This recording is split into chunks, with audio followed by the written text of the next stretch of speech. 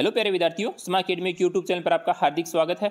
I hope कि आप सभी स्वस्थ होंगे मस्त होंगे और अच्छे से अपनी पढ़ाई कर रहे होंगे और वर्कबुक भी, भी अच्छे से काम कर रहे होंगे। आज हम बात करते हैं आर के एस एम बी के प्रथम योगात्मक आंकलन की। यानी आपका जो आर के एस एम बी के का जो प्रथम योगात्मक आंकलन हिंदी का जो होने वाला है कक्षा चार की बात कर रहे हैं और विषय है हिंदी जो अभी आपका होने वाला है उसकी चर्चा कर रहे हैं। यानी किस तरीके का आपके पास पेपर आएगा किस तरीके का पैटर्न रहेगा किस तरीके को अपने को क्वेश्चनों को भरना है। सबसे पहले लिखा है नाम। तो यहाँ पे अपना क्या लिखना है अपने को? नाम लिखना है। जैसे आपका नाम है प्रेम तो यहाँ पे अपना नाम लिखना है, यहाँ पे रोल नंबर लिखने हैं। अगर आपने अभी तक चैनल को सब्सक्राइब नहीं किया तो प्लीज़ चैनल को सब्सक्राइब ज़रूर करें।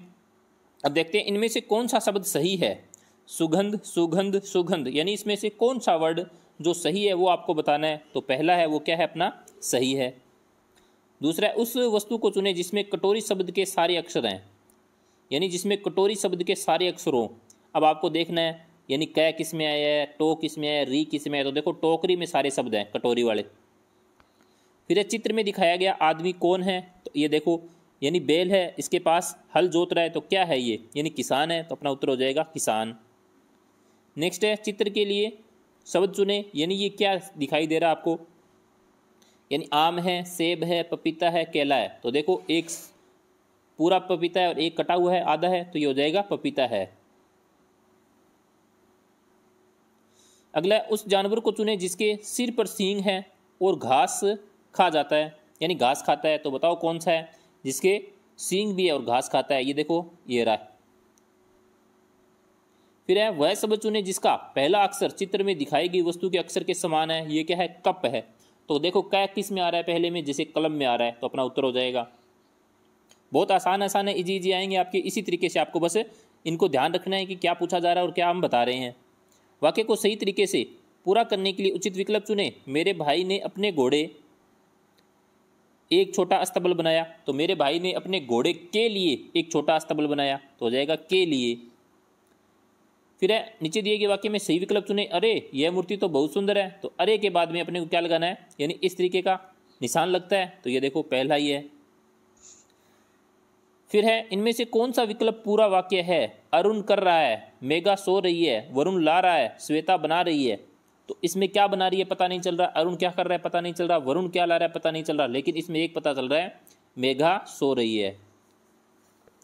उस शब्द को चुने जिसका पहला अक्षर, चित्र के समान पहला अक्षर भी है, यानी जैसे ये है, बकरी, यानी बै। तो ये देखो, बगुले में बै तो ये अपना उत्तर हो जाएगा। फिर है, उस अक्षर को चुने जो चित्र के नाम को पूरा करता है। ये देखो क्या है?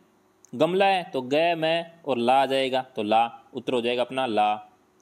सही शब्द चुनकर वाक्य को पूरा करें। मेरी दादी बिना लाठी के, मेरी दादी बिना लाठी के क्या नहीं कर सकती? चल नहीं सकती तो चल उत्तर हो जाएगा अपना।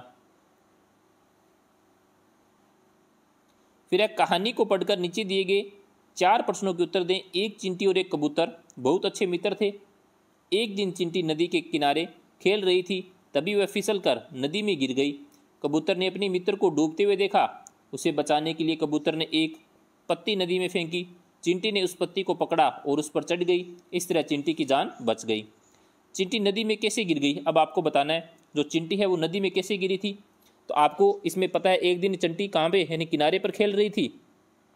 और वह तभी वह फिसल कर नदी में गिर गई। यानी कैसे गिरी? फिसल कर तो इसका ऊपर उत्तर देखो।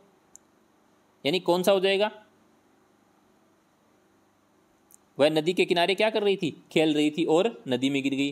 कबूतर ने चिंटी को बचाने के लिए क्या किया? तो बताओ क्या किया? कबूतर ने चिंटी को बचाने के लिए एक पत्ती फेंकी।